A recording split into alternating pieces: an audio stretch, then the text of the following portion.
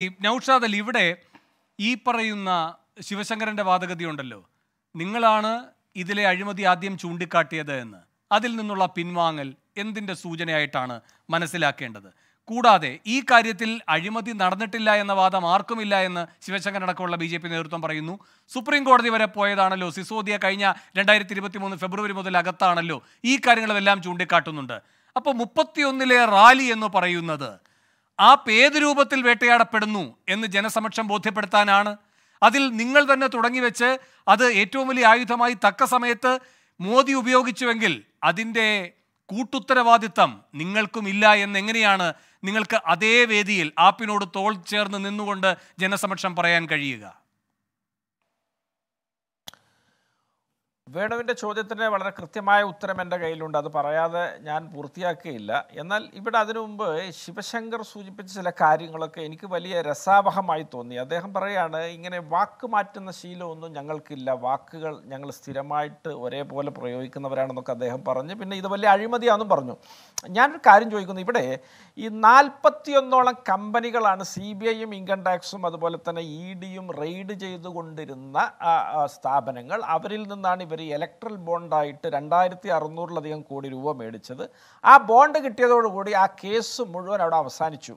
ഇവരെ അഴിമതിയെക്കുറിച്ച് പുസ്തകമിറക്കിയിരുന്നു ഹിമന്ത ബിശ്വ ശർമ്മയെക്കുറിച്ച്. അദ്ദേഹത്തെ B J പിയിൽ എടുത്തപ്പോൾ അഴിമതിയും തീർന്ന് അദ്ദേഹം ഇന്ന് മുഖ്യമന്ത്രിയായി. അതുപോലെ തന്നെ നേരത്തെ സൂചിപ്പിച്ച സുവേന്ദു അധികാരി മുകുൾ റോയ് ചഗൻ ഭുജ്ബൽ അതുപോലെ അജിത് പവാറിനെ ചൂണ്ടിക്കാട്ടി നാച്ചുറൽ കറപ്റ്റഡ് പാർട്ടി എന്നാണ് നരേന്ദ്രമോദി എൻ സി പിയെ വിശേഷിപ്പിച്ചത്.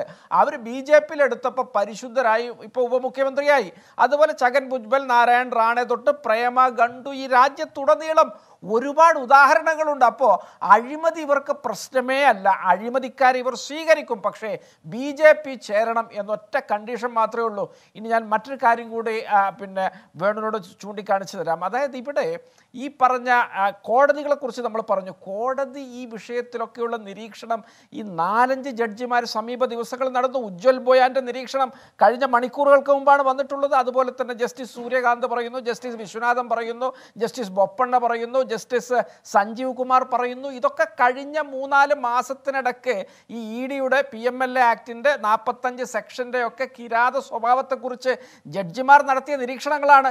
പക്ഷേ ഇവർ മറ്റൊന്ന് ചെയ്യുന്നു. ഈ രാജ്യത്ത് രണ്ടായിരത്തി പതിനാലിന് ശേഷം റിട്ടയർ ചെയ്ത സുപ്രീം കോടതി ജഡ്ജിമാരിൽ ഇരുപത്തിയൊന്ന് ശതമാനത്തിനും ഇവർ പുതിയ പദവി നൽകി ആദരിച്ചിട്ടുണ്ട്.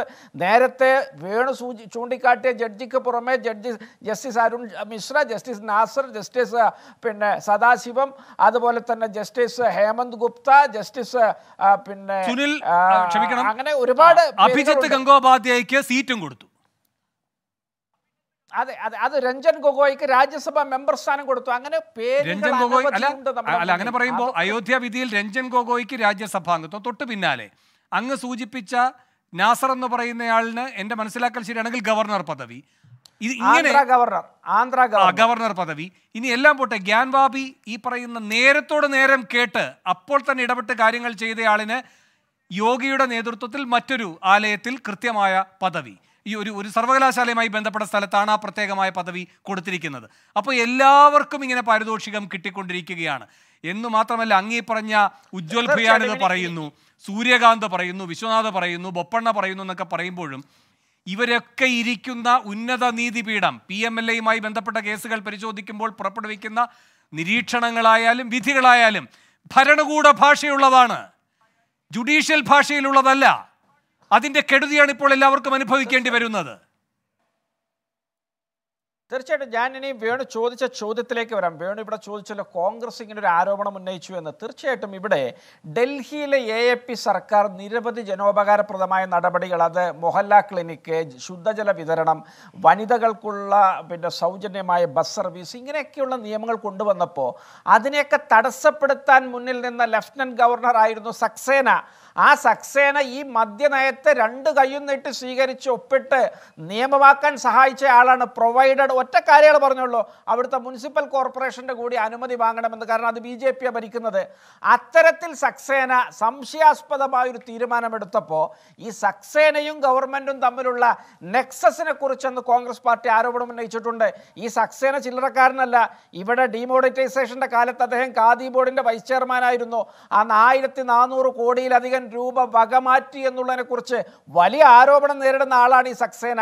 അദ്ദേഹത്തിന്റെ ചെയ്തിയിൽ സംശയം പ്രകടിപ്പിച്ചുകൊണ്ട് ഈ വിഷയത്തിലുള്ള അൺഹോളി നെക്സസിനെ കുറിച്ച് പറഞ്ഞ് ഞങ്ങൾ രംഗത്ത് വന്നിരുന്നു. തീർച്ചയായിട്ടും അത് അന്നത്തെ രാഷ്ട്രീയ നിലപാടായിരുന്നു. പക്ഷേ അതിന്റെ പേരിൽ നേതാക്കൾ ഇത്തരത്തിൽ വേട്ടയാടുകയും ഇത്തരത്തിൽ എന്ന് പുറത്തിറങ്ങുമെന്നറിയാത്ത വിധം അകത്തിടുകയും അല്ല വേണ്ടത്. ഞാൻ ഒരു കാര്യം കൂടി മനീഷ് സിസോദിയയുടെ ജാമ്യാപേക്ഷ വേളയിൽ സുപ്രീം കോടതി നിരീക്ഷിച്ചതാണ്. ഈ ഇതൊക്കെ കുറ്റപത്രമായി വന്നാൽ പ്രതിഭാഗം വക്കീലിന്റെ രണ്ട് ക്രോസോടുകൂടി വലിച്ചെറിയപ്പെടേണ്ട ഒഫൻസുകളാണിതിൽ പക്ഷേ പി എം എൽ എ ആക്ടിന്റെ നാൽപ്പത്തി അഞ്ചാം സെക്ഷൻ പ്രകാരം ജാമ്യം നൽകാൻ നിർവാഹമില്ല എന്നാണ് സുപ്രീം കോടതി നിരീക്ഷിച്ചത്. രണ്ടായിരത്തി പതിനേഴ് അമേഠിയും റായ്ബറേലിയും ഒഴിച്ചിട്ടിരിക്കുകയാണല്ലോ. ഈ റായ്ബറേലിയിൽ പ്രിയങ്ക വരാതിരിക്കുന്നത് നിങ്ങൾക്കൊരു ശങ്കയുള്ളത് കൊണ്ടാണോ? കാരണം അങ്ങേക്ക് അറിയുന്നത് പോലെ ഈ ഫരീദാബാദ് ഭൂമി ഇടപാടുമായി ബന്ധപ്പെട്ട് സമർപ്പിച്ചിരിക്കുന്ന കുറ്റപത്രത്തിൽ ഒരു വാചകം പ്രിയങ്കയുമായി ബന്ധപ്പെട്ട് പറഞ്ഞു പോയിട്ടുണ്ട്. അത് വെറുതെയല്ല. ഇപ്പോൾ ഈ ശരത്ചന്ദ്ര റെഡ്ഡിയുടെ ഒരു മൊഴി ഒരു വാചകം ആദ്യം അദ്ദേഹം ഈ പറയുന്ന രൂപത്തിൽ കെജ്രിവാളിനെ കണ്ടിട്ടില്ല അറിയില്ല കേജ്രിവാളിനൊരു ബന്ധവുമില്ല എന്നൊക്കെ പറഞ്ഞതിന് ശേഷം പിന്നീട് ഇങ്ങനെയൊന്നും ഒഴിമാറ്റി പറയുന്ന ഘട്ടമെന്ന ഒരൊറ്റ കാര്യം വെച്ചുകൊണ്ടാണ് ഈ പി എം എൽ എ ആക്ടുമായി ബന്ധപ്പെട്ട് അത് ദുരുപയോഗം ചെയ്തിരിക്കുന്നത് കെജ്രിവാളിനെ പിടിച്ച് അകത്തിട്ടിരിക്കുന്നത് പ്രിയങ്ക ഇപ്പോൾ തെരഞ്ഞെടുപ്പ് രംഗത്ത് ഇറങ്ങാതിരിക്കുന്നതും ഈ പറയുന്ന കുറ്റപത്രത്തിൽ ഒരു വരിയെ പേടിച്ചിട്ടാണോ? ഇവിടെ വേണു ഇവിടെ പ്രിയങ്ക ഗാന്ധിയെയും കോൺഗ്രസിനെയൊക്കെ വേട്ടയാടാൻ ഇവർ തീരുമാനിക്കുകയും അതിവർ നിർബാധം തുടരുകയും രോഗാതുരയായ സോണിയാഗാന്ധി വരെ മണിക്കൂറുകൾ നീണ്ട ഇ ഡിയുടെ ചോദ്യം ചെയ്യലിന് വിധേയമാവുകയൊക്കെ ചെയ്ത് ആ കേസ് ഇപ്പോഴും മുന്നോട്ട് തന്നെ പോവുകയാണ്. ഇവരെ സംബന്ധിച്ചിടത്തോളം ഇവരാണ് ഭീരുക്കൾ.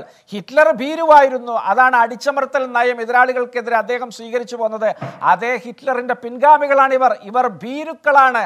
ആലില പോലെ വിറക്കുന്നവരാണിവർ. അതുകൊണ്ടാണ് അവസാനത്തെ പ്രതിപക്ഷ പാർട്ടി വയോധികനായ ഫറൂഖ് അബ്ദുള്ള തൊട്ട് ഇങ്ങ് തെക്കേറ്റത്ത് കിടക്കുന്ന സ്റ്റാലിൻ വരെയുള്ള ആളുകളെ ഇവർ വേട്ടയാടുന്നത്. ഇവർക്ക് ഭയമാണ്. ഇവർക്ക് മുന്നോട്ട് പോകാൻ ധൈര്യമില്ലാത്തവരാണ്. ഭീരുക്കളാണ് ഇവർ. അതുകൊണ്ട് അധികാരത്തിന്റെ ഘടകം പ്രയോഗിച്ചുകൊണ്ട് മുഴുവൻ പ്രതിപക്ഷ കക്ഷികളെയും ഇവർ നിലം പരിശാക്കുകയാണ്. പ്രിയങ്ക ഗാന്ധി മത്സരിക്കോ ഇല്ല എന്നുള്ളത് വരും ദിവസങ്ങളിൽ വ്യക്തമാകും. നമുക്ക് കാത്തിരിക്കാം. ഒറ്റക്കാര്യം കൂടി വേണോ? ഇവിടെ ഒറ്റക്കാര്യം കൂടി പറയാം. അരവിന്ദ് കെജ്രിവാളിന്റെ കേസൊന്ന് നിങ്ങൾ പരിശോ പരിഗണിക്കൂ. ഇവിടെ കൺഫസ് സ്റ്റേറ്റ്മെന്റ് കൊടുത്ത മുഴുവൻ ആളുകളും ബി ജെ പിയുടെ ഇലക്ട്രൽ ബോണ്ടിലേക്ക് കോടികൾ സംഭാവന നൽകിയവരാണ്. അത് നൽകുമ്പോൾ അവർ മാപ്പുസാക്ഷികളാകുന്നു. കൺഫസ് സ്റ്റേറ്റ്മെന്റ് ശരിയാണ് ശരിയാണ്. അതാണ് രാധികയുടെ പാർട്ടി പറയുന്നത്. ഇതിൽ മണി ട്രെയിൽ ഉണ്ടായെങ്കിൽ ഇതിനോടകം പുറത്തു വന്നിരിക്കുന്ന രേഖകൾ വെച്ച് ഒറ്റ മണി ട്രെയിലേ ഉള്ളൂ പുറത്തു വന്നിരിക്കുന്നത്. അത് ഈ അമ്പത്തിയഞ്ച് കോടി ഈ ശരത്ചന്ദ്ര റെഡ്ഡിയുടെ അരവിന്ദോ ഫാർമ വഴിയൊക്കെ പോയിരിക്കുന്ന ബി ജെ പിയിലേക്ക് വരിക്കുന്ന അമ്പത്തഞ്ച് കോടിയാണ്. അല്ലാതെ നയാ പൈസയുടെ കണക്ക് എന്തായാലും ഇതുവരെ ഈ മണി ട്രെയിൽ എന്ന നിലയിൽ ഈ കൊട്ടിഘോഷിച്ച് രണ്ട് വർഷമായി നടക്കുന്ന അന്വേഷണത്തിൽ ഇതുവരെ പുറത്തു വന്നിട്ടില്ല.